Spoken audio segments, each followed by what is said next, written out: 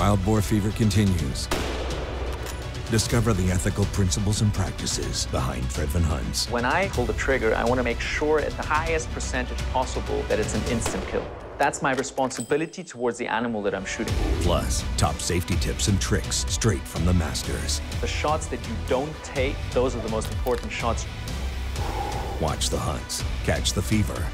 Wild Boar Fever 9 on My Outdoor TV. Start your free trial today.